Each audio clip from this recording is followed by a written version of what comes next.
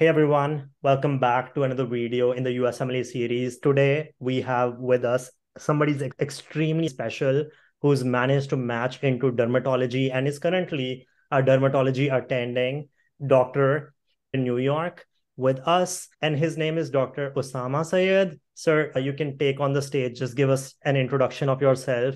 And I would love to know about your whole journey and how you were able to match into one of the most competitive specialties ever. Sure. Thank you so much for having me on the channel, Manik. And I was a little bit confused when you said there's someone really special. I thought we were expecting a third guest, but I, I guess that's me for the sake of this talk. So thank you yeah. for that generous introduction. Yeah. A bit about me. Yeah. So my name is Usama Syed. I, I did my medical school and, and spent most of my life living in England. Went to Imperial College in London, graduated in 2016 and I'd say from around my third year of medical school onwards, I was pretty convinced that I wanted to move to America for various reasons that you know we can get into. But I had that idea fixated in my head from then. Did my USMLEs in my fifth year, got everything prepared to do my away rotations and things in my final year. And then I went on to, to leave right after medical school, actually. So I didn't do any year of training in England. I just left straight away, came across to America and applied for training. And uh, thankfully, first time around, managed to match into dermatology. And so it's been happily ever after ever since. And so because I'm an old person, I've now finished all of my years of training. I got board certified last July, and I've been working now as an attending for a year and a half here in Manhattan. So yeah. Tell me about like your match reaction. I, I am just intrigued because whenever you think about going into competitive specialties like plastic surgery, dermatology, or any uh, like neurosurgery, right? Like, mm-hmm. and the average IMG is kind of very scared to get like their like you know hands dirty with the rotations of these specialties because they're too afraid that they like won't match. Because there is this bias towards IMGs like in these competitive specialties and you mm-hmm. need high scores research experience and all on like what was your thought process when like you went towards the match into dermatology? Like weren't you scared sure. that you weren't gonna match and what's gonna happen then yeah, so, so I guess it helps to provide a bit more context. So for me, I, I wasn't one of those people who knew they wanted to match into dermatology from the beginning. A lot of American grads have a very clear sense from their first year of medical school exactly what specialty they want to do.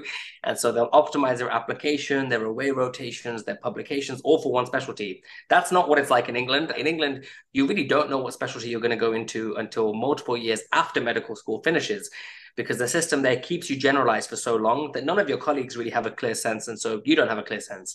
So I actually didn't even know what specialty I wanted to do when I was going on my away rotations. I had scheduled two rotations into orthopedic surgery. So again, not an easy specialty, but the one that I thought I, I might like. And so I decided to, to do away rotations in that. But when I came out here to the US within the first three days, after a few 4:30 a.m. ward rounds and 11 p.m. finishes to the day, I realized that that wasn't the specialty for me. And so uh, I was sitting there in the library of Cornell here in, in New York, trying to figure out what specialty I actually might like. And so I went through every single specialty. And then I got to dermatology and I thought, you know what? Like great mix of surgeries that are not seven hours long, but that are short and medicine and you get long-term connections with your patients and it's very satisfying and it pays well. And a big priority for me was having a good work life balance later in life. And so it ticked all of those boxes. And the only thing that was left that was holding me back was um, when I typed it into Google, like IMG match into dermatology, as you can imagine what those forums look like right now, they basically all told me to go die and give up on life and it would never work and all of those same things. But the way I see it, I'm like, that, that is a terrible reason not to try to do something that otherwise fits with your life plans. The idea that it's hard or some disembodied voice on the internet tells you it's impossible so I decided, listen, if it's if it's important to me, I should at least give it a try. And so that's the kind of the mentality I'd encourage IMGs to have is that if there's a specialty that you're incredibly passionate about, even if it's really, really like complicated and it won't be a straightforward application process, if it means a lot to you, you owe it to yourself to give it a try. Now that doesn't mean that most IMGs are going to match in dermatology. Like you just have to face the reality. It, it the numbers speak for themselves and they are not positive. But you should have a plan A, which is here is how I'm going to match into my dream specialty. Here is how many years I will potentially try that process. But here is my cutoff. If, for example, after this many years and this many tries, it doesn't work for me, would I be willing to compromise? Would I be willing to try again for a different specialty that's more IMG friendly? Or what is my best alternative? And so in my case, my best alternative was I had a pretty good career pathway in the UK set for me. I also even thought about leaving medicine, to be honest. So I thought about how if things don't work out for me, I'll completely leave medicine and go into something else like tech or private equity or things like that. So I think all of those things together for me made it make sense to give it my best try to apply for a specialty that fit my life kind of targets. And if it didn't work, I had other plans that I could turn to. So that being said, like what, what what the like other backup plans didn't you have any backup plan of going into internal medicine i know that you mm. wanted to quit medicine and all but did you have yeah. like backup special specialities did you apply to backup specialities when you applied mm-hmm. to dermatology yeah, so I actually didn't. So so I only applied. Obviously, with dermatology, the way it works is you have to apply to prelim programs yeah. and then also the advanced dermatology program. But I applied to no other advanced program. So I applied to no other or, or, or categorical. I didn't apply to internal medicine. I didn't apply to anything to begin with because the way I saw it, I'm like, this is my first try. So on my first try, I should be very picky. I should I should go for only what I would want to actually match into. And to that end, it sounds very arrogant, but that wasn't the way I was approaching it. I actually only applied to around 20 dermatology programs. I didn't even apply to all the derm programs in the country. I just applied to the ones that I would be excited to go to. And so I was very, very selective. But that's only because my backup was I had a fantastic job lined up in England. So I I, I secured a an academic foundation program, AFP, which was like seen as quite prestigious in England. And I knew that if I had to go back and and and join the career pathway there, I had a lot of options available to me. So uh, to that end, I didn't apply for any backups in my first cycle if I had not matched, would I have potentially been open to you know something else like uh, internal medicine and then rheumatology or or something to that end? Maybe, and, and I had considered that, but thankfully it, it, didn't come to it. Wow. So where did you exactly match? So I match into Mount Sinai. So so Mount Sinai here in in, in Manhattan, which is, is a fantastic dermatology program. So I think some years it's number one, some years it's number two in the country. So it was a fantastic program for for me to match into, and I actually had a connection with the program. So that's kind of important for us to talk about in that once I had decided in that library at Cornell that I was applying for dermatology, the first thing I did was I emailed like 15 different program directors in dermatology here in New York saying, Hey, I'm here in New York right now. I didn't mention that I was on orthopedic surgery elective because I didn't think that would have been a good sell. But I said, I'm in New York right now. Like, I'm an IMG. Is there any way you could give me just five minutes for us to have like a conversation for me to get some advice? I'll bring you your favorite coffee to save you those five minutes so that it's like net neutral for you. Like, I sent this email to, to 15, 20 people, and I actually got like maybe three to four replies, including the program director of Mount Sinai at the time. And so I went and, and met him for five minutes. He was like two hours late, but I was like, I don't care. I'm going to sit here in this waiting room for as long as I need to to get some FaceTime. And then I met the Mount Sinai program director of dermatology now that conversation was basically he, he was he started off saying, "Hey, here's why IMGs can't match into dermatology," and so he went off on this long talk about book knowledge and communication skills and all this kind of stuff. And the only thing that changed at all was he basically said, "Oh, by the way, have you have you done your step one exam?" And I was like, "Oh yeah, I've, I've actually done it, and uh, I got a two six two at the time when there was still a step one score." And so the second I said that, he said, "Go to two six two. and I was like, "Oh yeah," and he goes, "That's insane." And then suddenly his entire demeanor, his entire approach, everything changed. And at that point, he said, What are you doing next year? And I was like, Oh, I have this job lined up in London that I'm starting for a year. And he was just like, Forget that job. Come work with me while you apply. And if you get if you manage to impress me, it'll help your application. And so that is what changed all of this. And that is how I got my kind of relationship with Mount Sinai. A cold email, followed by a 20 minute talk, followed by my life changing. So basically, these are the kind of things where when you read these forums and you read these percentages and all this kind of stuff, you have to remember that in the US, it is one person, a program director, who decides who to take into their program. If you happen to get on the good side of this person and prove yourself to them over a span of multiple years, that's all you need. You only need one person. And that's what I encourage everyone to keep in mind, no matter what they're applying for, is that there is no rule book. These are human relationships. And so where there's a will, there's a way. Yeah. Like, and I think even based on statistics, like which the NRMP takes out, I mm-hmm. think it doesn't capture so many other things like connections and like Correct. your ability to build rapport with people and yeah. then like later use those connections to get into programs. So I think like like that those Reddit forms that we see that's more like the middle part Correct. of the bell curve but like the way you play it can actually change everything like like just like you said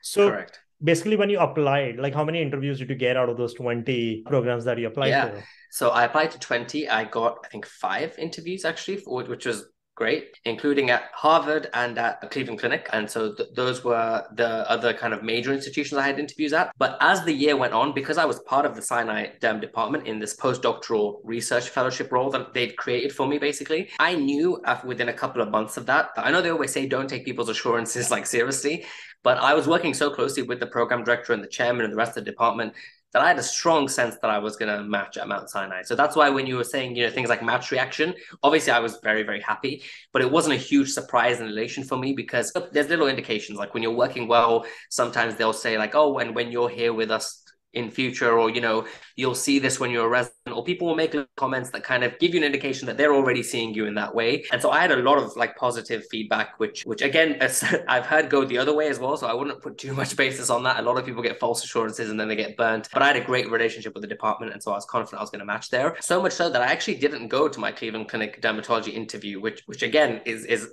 sounds a little bit insane and arrogant but yeah. it was it was it was it was because I had such a strong sense that I was going to be at Mount Sinai and I wanted to be in New York and Cleveland. No offense to anyone who lives in Cleveland, but I had been there and it is a boring place to, to, to spend time. And so I just thought, you know what, like I'm I'm gonna just not go because imagine flying all the way, spending all that money because by that point you're broke when you're like a student on the interview trail. Back then it wasn't a video interviews, right? It was in-person interviews and I had to go to both prelim and derm interview. So it was getting to the point where I was like, ugh, like this is going to cost me like a thousand dollars to fly to Cleveland, hotels, flight back. So I just didn't even go. And they emailed me back being like, are you okay? that like you're you're an IMG and you're not coming to, to the dermatology interview. And I was just like, oh yeah, sorry, have like a like a family. I had to say a family thing because I didn't want to seem like I was insulting them. But yeah, by that point, I had such a strong sense that I was going to be at Mount Sinai that, that thankfully it worked out for me. But I don't know if anybody should follow my footsteps in what I did there because it was probably a stupid thing to do if they had ended up burning me. Like, I have other questions that stem out mm-hmm. from the story. The first sure. question is like you got interviews from Harvard, like like the likes of Cleveland Clinic. Mm-hmm. Like, did your program director or the chairman there vouch for you to get those interviews, or was it just based on the strength of your CV? Yeah, no, so they didn't vouch for me. It was it was basically the strength of the CV in that like I had solid scores and publication wise, I didn't have a ton of publications. I had like eight to twelve, which I know sounds like a lot for some people, but in the derm world, it's really not that much. And they weren't dermatology specific publications even. They they were quite limited in that sense. The thing that I did have was I had strong letters of recommendation. So I had letters of recommendation from the Mount Sinai program director. He didn't kind of personally call people, but he was on my application. And then I also had a letter of recommendation from someone who was the past president of the American Academy of Dermatology, who was based at Cleveland Clinic, where I had also rotate, rotated, right? So that helped with them. Harvard, I had no connection with at all, and no one vouched for me. But I think they just saw the strength of my application, saw names they recognized, like writing letters for this random IMG who had good scores, and thought, oh, it's worth us kind of taking a risk on him. But yeah, otherwise, I had no kind of personal outreach.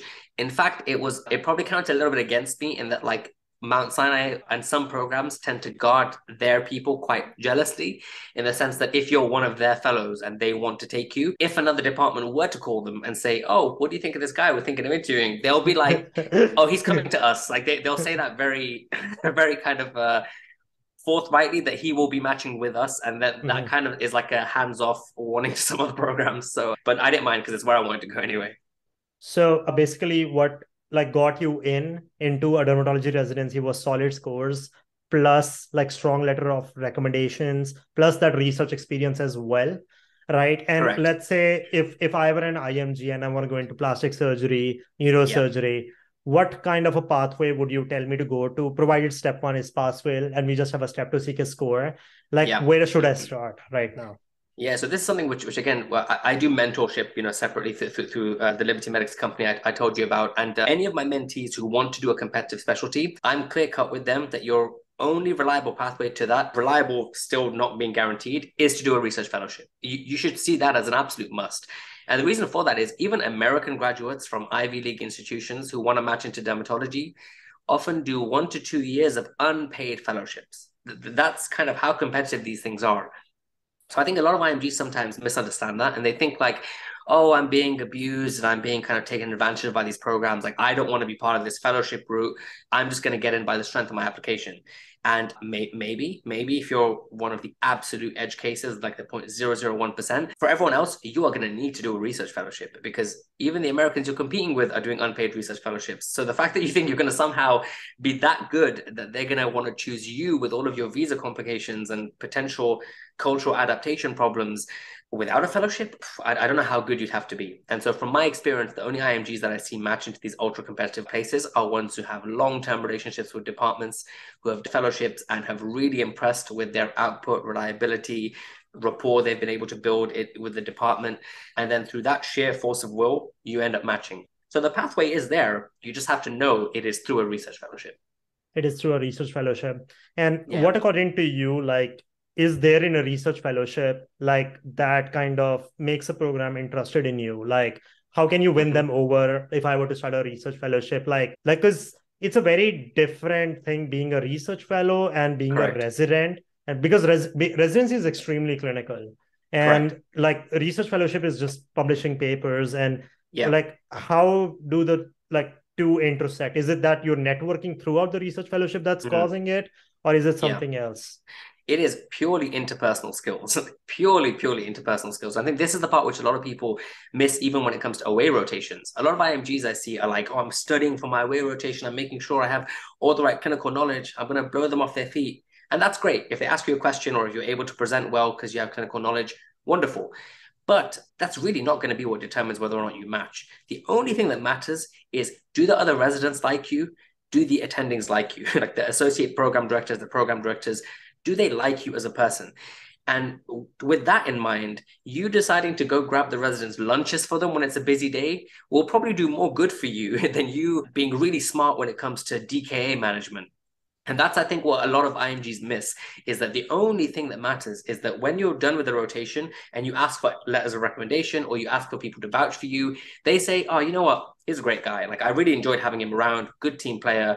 I would love to work with him in the future as like a colleague. That is by far and away the most important thing. And so when you're doing a research fellowship, the advantage you have is you're just there. like you literally have more face to face across the span of one to two years, where different faculty members see you. You should go out of your way to attend the didactic teaching, the clinical teaching with the other residents. You'll naturally get to know them if they're friendly people. They'll ask about you. You might socialize with them and hang out with them outside of work with the attendings yeah they'll face to face they will just get familiar with you. And also then you should should of course impress them with your research output. Be reliable make sure you're producing high quality work on time. But it's all of those other things. It's it's that you've just become part of the team right? Like oh oh i know him. Oh he's been Usama's been with us for two years. Like a great guy. He's not a general img he's Usama the guy that we know right? And so what i always tell imgs is like the biggest thing you need to do is get yourself in becoming a real person in their eyes and not an IMG on paper. Because an IMG on paper is really easy to dismiss and reject. Whereas the person that they have got to know and have an attachment with, that means they're going to give you an interview and they're going to look upon you more favorably. I think like that's what discounts a lot of IMGs is the interpersonal communication skills, especially yeah. like in psychiatry where like I applied that where like scores mm-hmm. really don't matter and all people care about is like how well can you like communicate with patients because that's what matters yeah. in the end right like you might Absolutely. have the highest scores on papers right and you have like a tremendous amount of research but if you can't put all of that into your work by communicating with the patient then what good is it right absolutely yeah I, I, I, could i couldn't so like that being said like there is this other consensus that publications matter a lot even mm-hmm. the ones that were done out of the program let's say within your own country like yeah. what's your view on that like because people keep yeah. on trying to publish their own papers and don't like try to do the research experience or the research fellowship so yeah. what's your view on that yeah, so I think publications are great in the sense that if you're applying to certain specialties, they're seen as almost a requirement. So, for example, the orthopedic surgeries, the plastic surgeries, the dermatologies,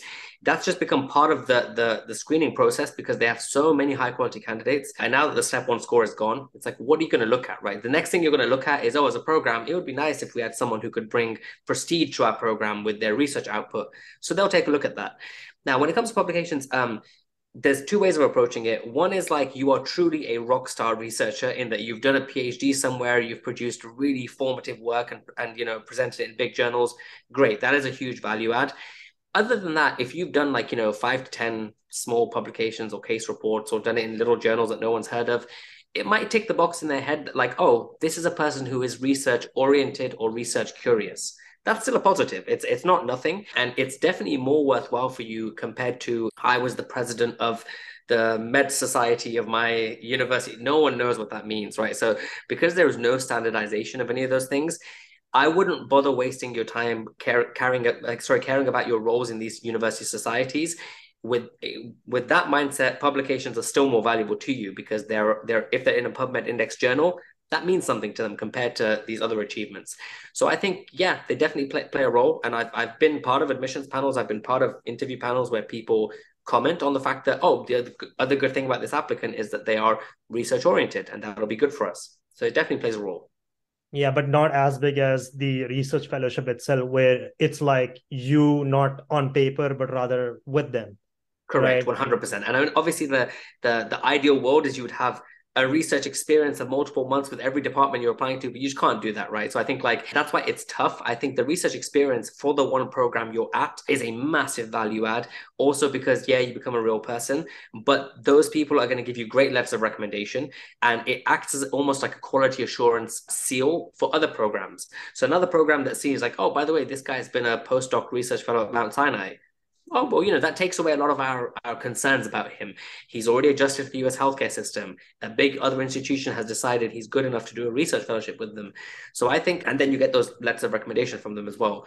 So i think research experiences at big institutions are far more valuable but publications themselves have a role to play. What about electives versus a research fellowship? If you were given a choice let's say yeah. like to do electives let's say six months in a row in dermatology mm-hmm. right yeah. versus the research fellowship, what do you think would like be your priority?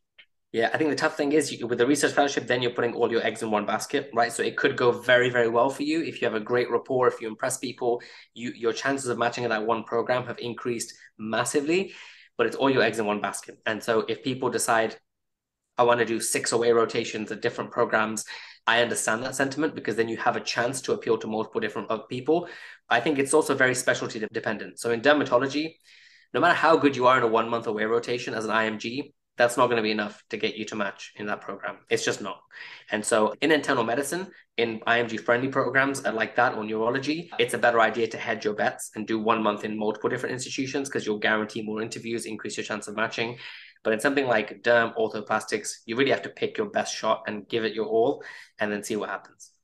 In that sort of institution, basically. Correct. Yeah. Pick okay. one institution. Yeah. That makes sense that that brings on to my like last question to you mm-hmm. and that is suppose i'm an img right and mm-hmm. i have a below average step 2 CK score Yes. Should I think about applying to competitive specialties provided I have a mm-hmm. below average score? And most people in these specialties, like who are applying, most of their applicants don't have a below average score. They they they're like in the 270s, 260s. What what yeah. is your thought process on that?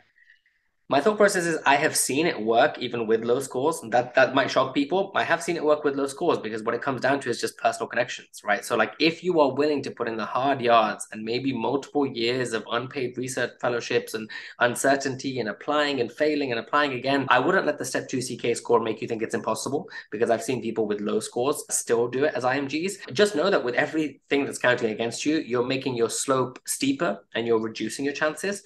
But I'll never tell anyone that it's a 0% chance. And so what I'll say is listen, you're going to make your life much harder if you're an IMG and you've decided you must match into dermatology or plastics, but that's life. If you decide that's your future and it's your 50 year career and you don't mind risking it for three years and potentially ending up with nothing to show for it on the other end, take that risk. But if you're in the financial position where you're like, listen, if I don't match the first two years, I can't apply again and I have to go back home and I'll give up on the American dream. Then at that point, I'll say, play the percentages game. In the same way you play the percentages game in all aspects of life, if it's just a one swing and that's the only chance I have to get to America, then ask yourself, could I be happy in another specialty? Could I be happy being a internal medicine or primary care doctor with an interest in aesthetics, for example, if you want to do, you know, injectables or things like that? If you can persuade yourself that that's a route you'd be happy with, do that instead because you'll make your life much easier if you have a low score. But it is still possible if, if it's if it's your main hope and you're and you're able to, to also like there is this other pathway people go by like a lot of doctors go by is that they will do like one specialty like internal medicine and then mm-hmm. they'll apply to dermatology or orthopedics yeah. again. Yeah. Where do you see that going? Like considering yeah. that they're they're board certified in one specialty how does that work? Sure. We, we, we have one minute. We have one minute Okay. So, so I would say that's a very bad idea. Don't do that because every year that you do training in another program, you actually lose a year of your funding that comes from the GME, the Graduate Medical Education Office. So the government pays for most people's years of training. And if you've used up two or three years in another specialty and then you try and apply for dermatology, they'll say not only are you an IMG and you have visa problems, all this other stuff, now we don't even have funding for you. We have to pay for you, whereas an American grad would be free for us. So you've made your life much harder. So it is not an easy route if you decide to do another specialty. You're better off not starting another specialty and reapplying if that's what you really want to do. I had no idea that was the case. That's it's a big thing, and I've seen it burn tons of people. So please don't make that mistake, guys. Wow. Thank you so much, by the way. My pleasure. Like where can the applicants watching right now find you if they were to communicate with you? Sure. So people can find me on Instagram or YouTube at Usama Syed. Although, again, I, I will just warn that I'm, I'm very bad at replying to messages on there because I do get a ton of messages. So just keep that in mind. And otherwise, as I mentioned, we have that that company called Liberty Medics, which is just entirely built for helping IMGs move their career to the US. So we can put the link for that below if people want to check it out. We have some free articles, free sample videos, and things like that on there too. So check that out. And yeah, that's probably the best place for people to go. All right, guys, take care. If you have any questions, please comment and we can get back to you whenever we have free time. And thanks for watching. Bye, guys.